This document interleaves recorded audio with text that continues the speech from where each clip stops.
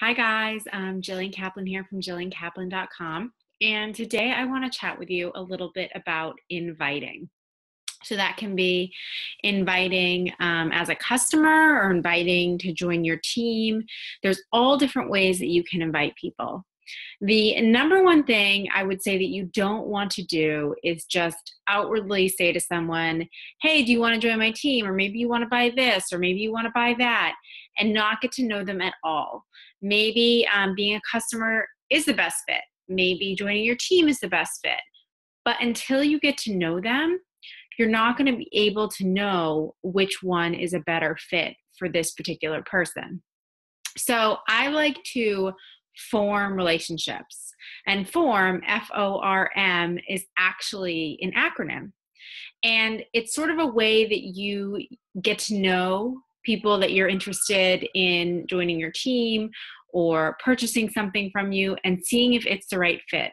Because truthfully, if it's not the right fit, you're not going to be able to get over objections because you're not really going to have anything to say when they say, oh, this isn't the right fit for me. And you're going to be like, yeah, I know, I shouldn't have pitched you or whatever. So it's really important to get to know these people first before you invite them. So um, F is family, O is occupation, R is relationships, and then M is where you would convey your message, whatever that message is. I get messages all the time that are clearly copy and pasted with someone's link, and oh, maybe you want to do this or maybe you want to do that. And it's someone I've never spoken to before, or it's someone that I'm not even connected with at all. And I know that they're just sending out 100 messages, which is fine, but I'm probably not going to respond to that. And I'm probably not even going to really read the whole message or go to their website because I'm going to be like, this was not meant for me. It was meant for a group of people. So I think that's the first important thing is to really get to know who you're speaking to before you invite them to join you in whatever it is they're going to join you in.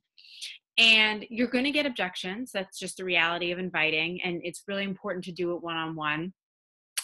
When I get objections, I try to use feel, felt, found. So by the time I've invited them, I know something about their family, occupation, relationships, and I've conveyed my message.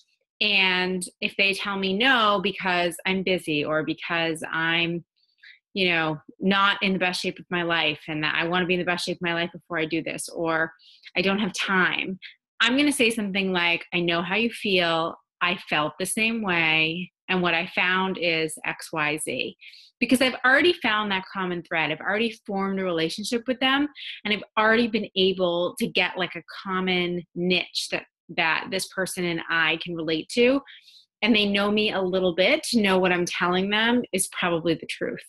So it's definitely super important to develop these relationships, get to know these people. This is like network marketing is one of the only occupations where you get to pick your coworkers. You pick them by hand, which is a huge deal. You know, I work for a very large company um, in my nine to five, and I did not get to pick my coworkers.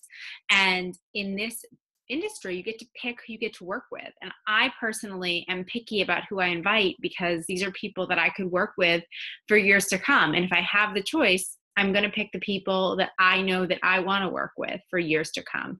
So, as much as forming the relationship is really good for whoever you're speaking to, it's also really good for you to see if it's the right fit for you um, to invite them into your business to work with them. So, I hope this was helpful. If you have any other questions, you can check out jilliankaplan.com and you guys have a great rest of your day. Bye.